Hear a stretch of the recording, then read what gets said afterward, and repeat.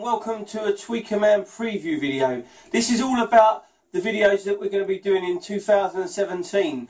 Well first of all we're going to be focusing again on headphone cables like we did the uh, upgrade headphone for the AKG 451s we're going to be doing some more. So we're going to be first starting off with uh, Sennheiser cable for the HD 595s. Then um, after that we're going to be focusing on the uh, HD 600s and the 650 and there's another load of um, models that also use that same cable.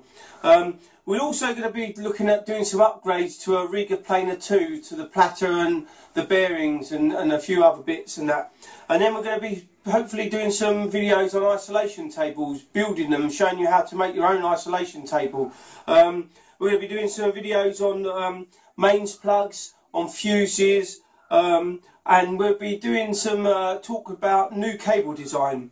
Um, uh, we're also going to be doing some stuff on uh, making sure that you know how to set your system up right and position your speakers and and your, your, your room to get the best out of your, your hi-fi system. So, hey guys, stay tuned and we'll be back soon with our latest videos.